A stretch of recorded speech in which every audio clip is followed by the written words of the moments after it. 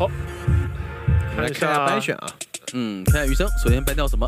机械，只能搬四个呢。先知，哎，前锋祭司全给搬了。先搬祭司啊，哎，前锋搬搬搬。哎，搬昆虫哦，放出前锋。这样子一个套路是没想到的。这个搬昆虫会不会打雕刻家的一个意图有点明显啊？感觉。嗯。但是这边小提琴，但他雕刻家很可能会被搬呀。对啊。对。就是你你放前锋，然后还把这这个昆虫给搬了。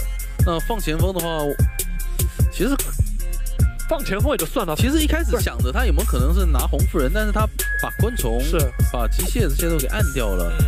而且关键是什么？圣心医院放你帮帮给你打。嗯。其实如果他一开始铁了心想打邦邦的话，其实是昆虫第一手应该也不会直接点，是可能点个佣兵会更好一点。那求生者选择了佣兵加前锋，那我觉得，而且放出了前锋的话，他的鱼女也不太可能会。我觉得邦邦的可能性比较大吧。既然你放我邦邦了，你看把空军搬掉，那这样的话邦邦的可能性就更大了。呃，是对，其实邦邦也可以搬昆虫吧，我是觉得。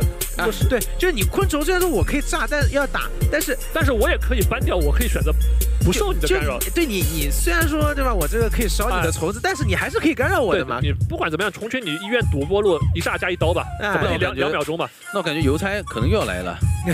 调香师，调香，这首诗来 counter 一下红夫人的调香师画家。呃，但我觉得邦邦可能性高啊。画家加调香有点四不像，我觉得。他就是一人防一手吧。对，但是其实谁都没防到呀。对，就又能针对邦邦人，又能针对邦邦，但是又怕红夫人，又怕邦邦。对啊，就所以说就四舍五入抵消了。对，防了，但是又没有完全防住这样子。呃，也行吧。打邦邦的话，我觉得画家有前锋要保一下的。然后调香的话，如果真的是上来就被追的话，尽量中场玩跳楼香嘛。这样是的，多牵制一会儿。毕竟也能利用上二楼的这一个地形嘛。是的，这首邦邦放出来倒是我没想到，因为毕竟已经打到了第四局了。对你跟余生说，我第四回合还能拿邦邦可以玩，还圣心一愿是哦。他们觉得昨天的小提琴发挥太好了吧？是。好，现在进入比赛画面，本场对局将由德武的求生者对阵 FPX 朱雀的监管者，由解说童话潘大帅压井为您带来 I will 实时赛况解说。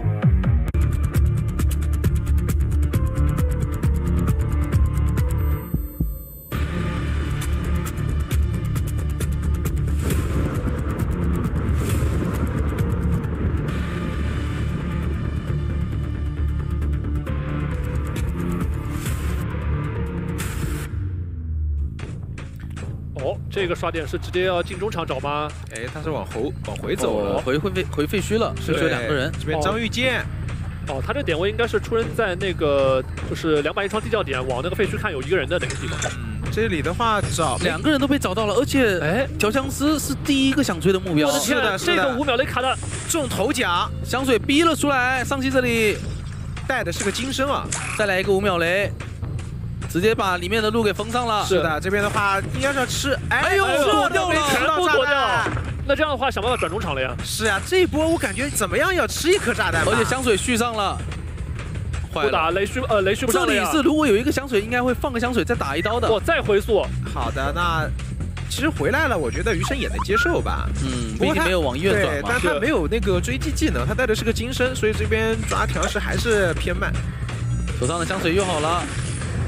我的天哪！三瓶香水全部用完，怎么说？A 刀车，漂亮，补刀一刀。那这样的话进中场还能先经过了一波很久的心理博弈，是，应该是已经能猜到，肯定不是插眼。对，这样上戏有点亏了，他这样。进了医院，但是没有香水跳楼了。呃，但是上只要能进中场，只要能上二楼，就也不好追。你看波波在边上虎视眈眈的，好像准备随时要撞一下。他顺便帮忙看一下嘛，你到底有没有反绕？那被迫换节奏的话，他其实张呃上期这一波牵制是非常成功了呀。对，他在医院可以直接找人调整或者翻箱子。对，他其实带金身的话，他上来最愿意抓的应该是这个画家。是，但画家的话其实做得起啊。一波二连躲开了，前面再翻回去。那整个击倒节奏应该要接近三台机了，是的，甚至超过已经吸出来了。前面有一波二连的机会，哦，有就我没有连到，这里应该能连到一下，三连。前面画画好了，画的话倒是影响不大，因为有金身，这个金身一定会顶这幅画。但是画出来了，主要就是看这波炸弹能不能连上，然后一刀带走，这个是很关键。因为张一剑的走位，哎，感觉能秒了。还行吧。是。但是波波前来前来撞救，对他有一波撞救的一个现在就是说，你金身交完之后，对于求生者来说的话，你进可救，退可保，因为你没有技能出来干扰。去这一波波波是如影随形，一直在跟着。下板了，来放下来了，想防一波啊，做一个纪律性防防你撞救，五秒钟，这五秒雷也是封住了。是的，是的，是的。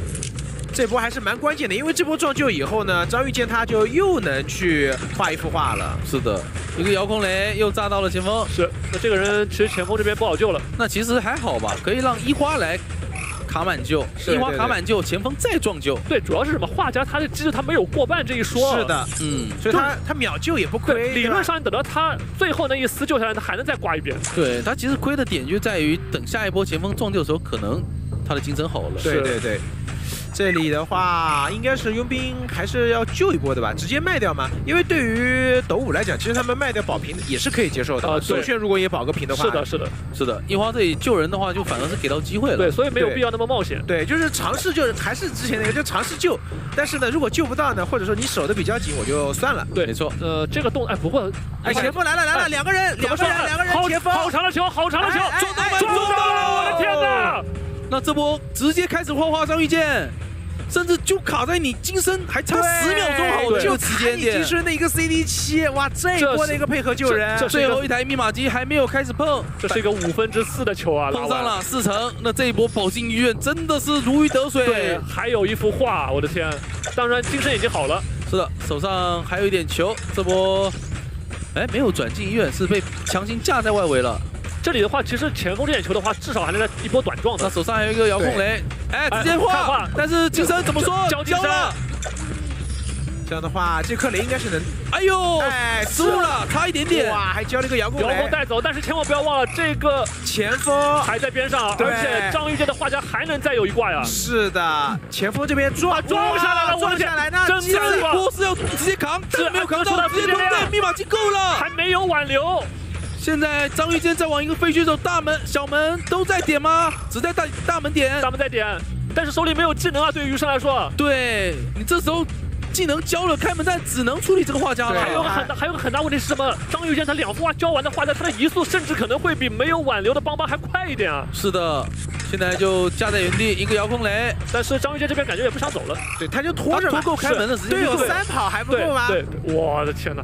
就就给到了朱雀的求生者是必须要四跑四，还比了个一。呃。确实，这把因为他这把确实是一个工程嘛，是开的一个工程。这把还有一个隐，还有一个工程啊。上戏的这个调师其实牵制的时间也非常的久。是的，是的，是的。主要是就是那波断了节奏。他如果说当时第一波追调师就能击倒的话，就不一样的结果了。对。他其实三瓶香水，其实我们说正常应该是可能说是拉开距离，先放香水拉开距离，然后强强进中场跟你玩跳楼香。但这样的话围绕中场的话，你又有可能会干扰到鸟鸟笼那一台。然后他会发现他这一波呃两波回缩，包括其中还回了两波是回的雷。是的，是的。对，真的就是不省香。是的。那比较可惜的就是那个。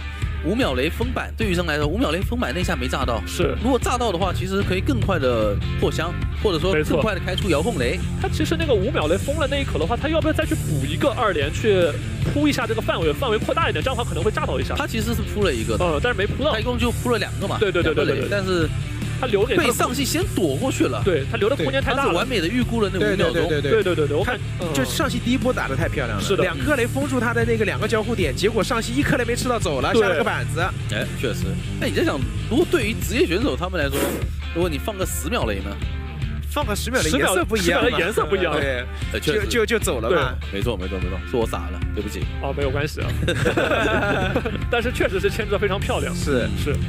就我觉得真的斗五现在这个求生者太恐怖了。对，就他们的一个打法让我就是觉得哇，本身就是我觉得保平保平保平不就好了吗？对，就没有我这样要打一什么？我要我要在这个场面上秀起来。对，我觉得就现在这些数据都已经是形容他们已经有点苍白了。我觉得，就你我们是回忆一下刚才那经历的这个五分多钟那一一个小局。